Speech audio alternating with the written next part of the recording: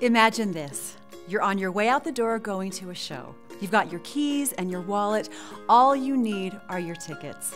You go to the computer, pull up the email, hit print, and nothing. Ugh, is it too much to ask for your computer to just work when you need it to? Sadly, we've all been there. Click that little button to find out how iTOK can help you with your most annoying printer issues.